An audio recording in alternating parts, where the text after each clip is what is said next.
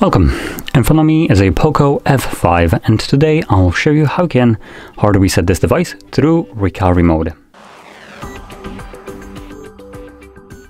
Now, that being said, this process allows you to get rid of screen locks. So if you have one set that you just don't know, for instance, like a pattern, I can perform this method to remove said screen lock.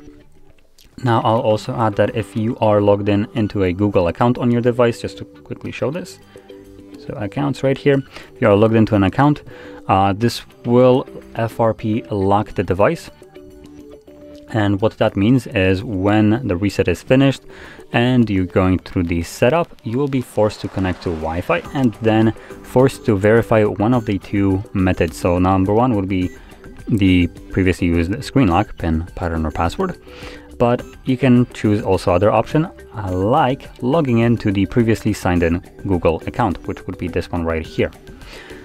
And if you don't know either of those, typically this would basically mean that you won't be able to ever finish up the setup, but I do have a bypass for this, so if for some reason you don't know either of those, uh, I will be making a guide on how you can completely bypass this and then remove it altogether. So if you're interested in that, stay tuned for the next video.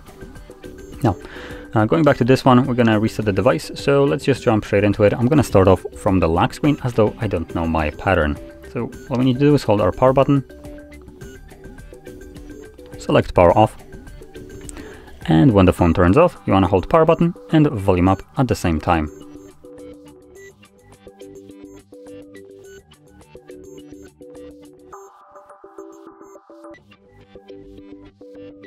Now once you see the Poco logo, you can let go of the power button.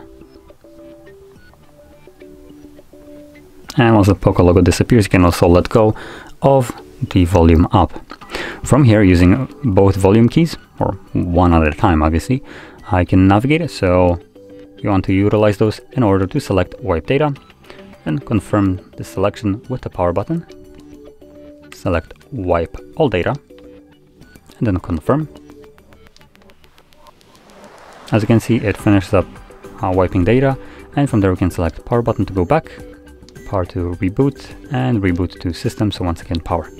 Now this will initiate that reboot and it will continue resetting the device in the background, so it will take it just a little bit longer than you might be used to to boot back up. But once the process is finished and the device boots up, we'll be presented with the setup screen for this phone.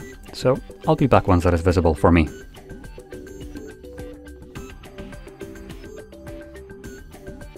And as you can see, the process is now finished and you can set up your device.